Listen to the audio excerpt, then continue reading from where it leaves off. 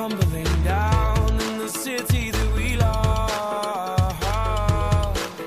Great clouds all over the hills, bringing darkness from above.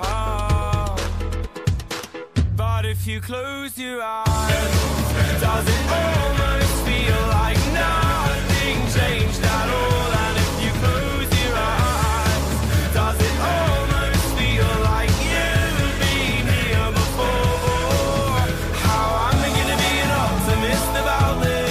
really interesting experience to uh, visit the Zhinan Temple, especially to uh, learn more about Taoist uh, religion and to see uh, what what it has to offer to the people of Taiwan. And I will definitely come back here, and maybe I will even start learning a bit, little bit more about, for example, karma, reincarnation, and more of the Taoist religion. Uh, last week we were at the tea plantage here in Taipei, and I like it a lot.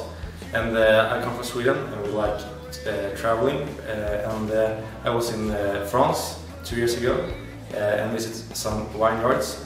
And I think it's quite similar thinking in the vineyards and the tea plantage. They think of the um, the plants that like they have a soul, and I think I think I like that way of thinking.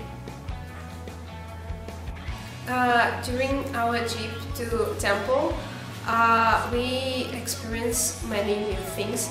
For example, uh, opportunity to ask uh, God about wisdom. If you uh, don't know, if you have a question, you can ask with throwing things, and it gives you an answer. And I think it's very interesting because we don't have anything like this in our Christian religion.